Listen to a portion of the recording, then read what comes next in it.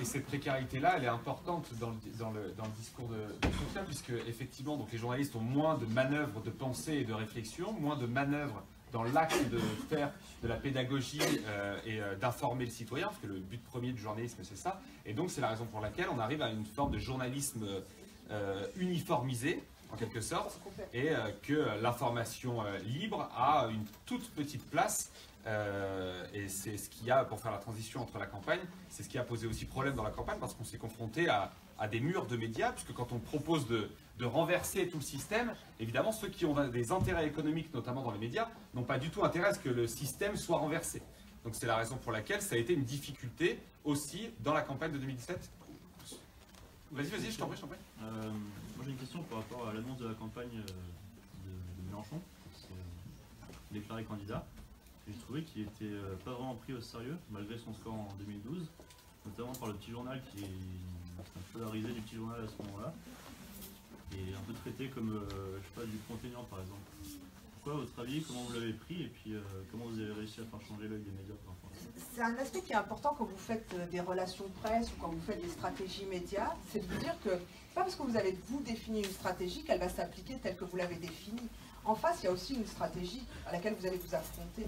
C'est-à-dire que tous les médias euh, euh, ont des stratégies aussi, euh, de la façon dont ils vont traiter l'élection présidentielle. Ils le définissent un an, un an et demi avant. Vous savez, souvent un an, un an et demi avant une élection présidentielle, ce qui se passe dans les médias, c'est qu'ils virent des gens et ils en recrutent de nouveau. Ça se passe juste un an avant une élection présidentielle. On prépare l'élection présidentielle dans les médias.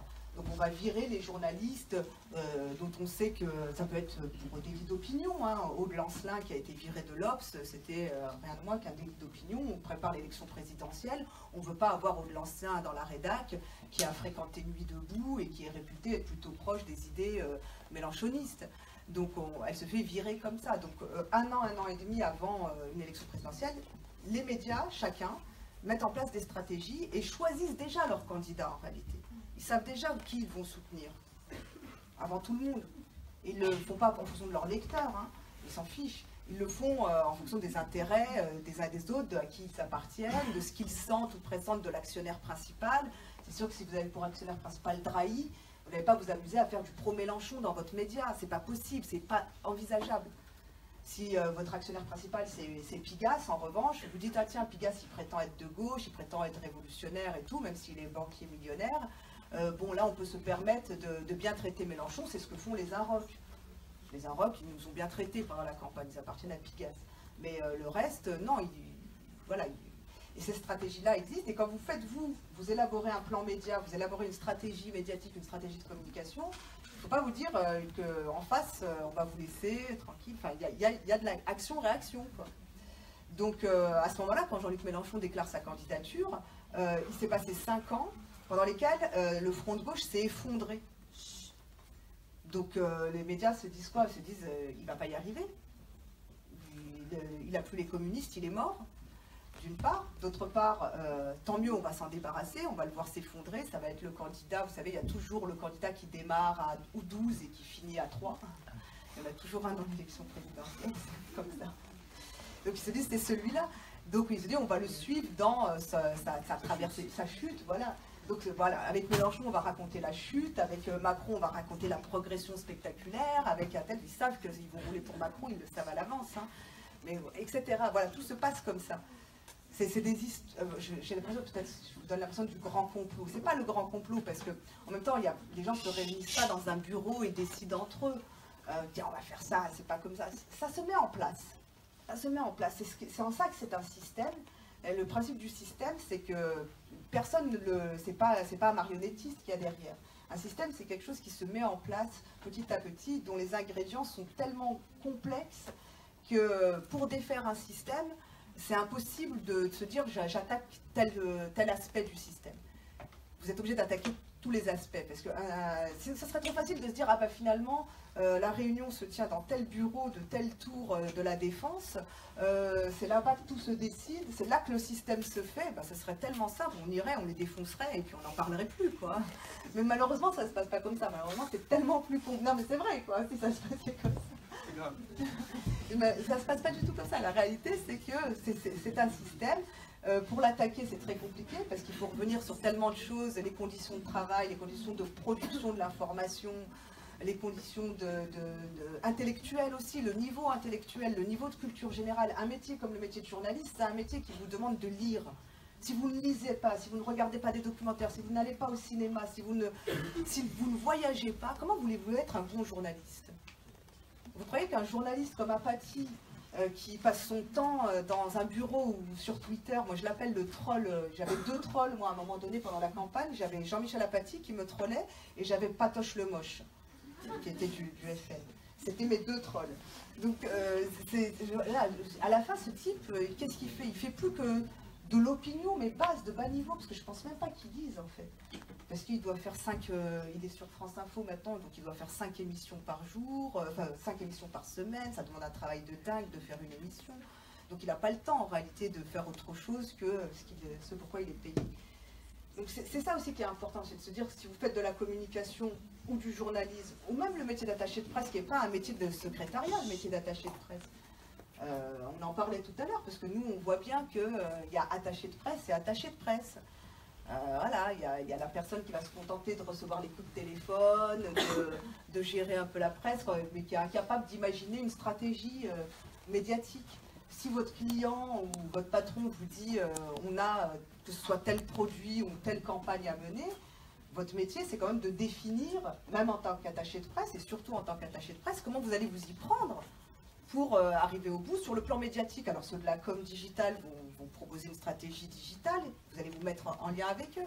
Savoir, bon, je vous prends l'exemple du média. Le média, ça fait deux mois qu'on l'a lancé, euh, et puis euh, notre objectif est d'arriver à 20 000 socios. Vous savez, les socios, c'est les copropriétaires du peut-être sur l'histoire rapidement du média, comment, comment il est né et pourquoi tu as voulu, euh, avec deux, Gérard et autres, monter, monter cette aventure? Ah, bon, moi je découvre aux États-Unis vous avez parlé de Bernie Sanders, de la stratégie de contournement et des réseaux sociaux. Aux États-Unis, il, euh, il, y a des médias indépendants, Democracy Now, euh, The Intercept et un certain nombre de médias indépendants. Et puis il y en a un qui, moi, me frappe, qui s'appelle euh, The Young Turks, les jeunes Turcs, et qui est fait par des Turcs, des mecs américains d'origine turque. Le, fondateur est d'origine turque.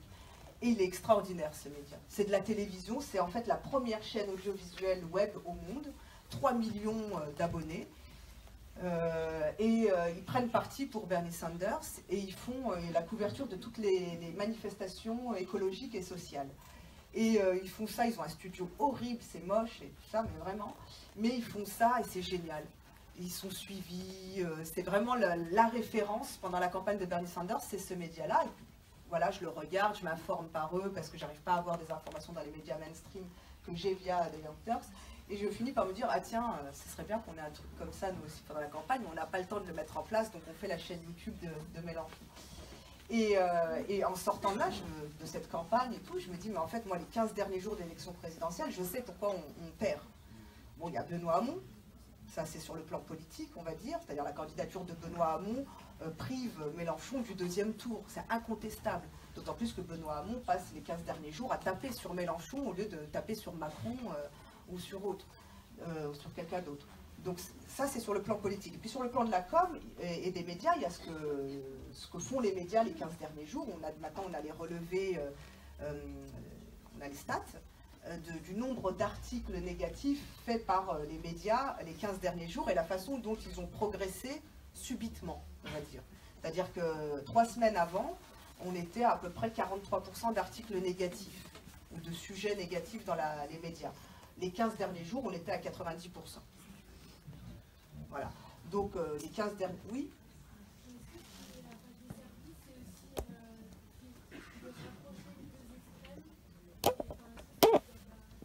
bah, c'est justement ça, quand je parle des articles négatifs, par exemple, Le Monde, les 15 derniers jours, tous les jours, tous les jours, tous les jours, tous les jours, vous aviez une tribune ou un dessin de plan cul qui consistait à dire Mélenchon comme Le Pen, Mélenchon Le Pen.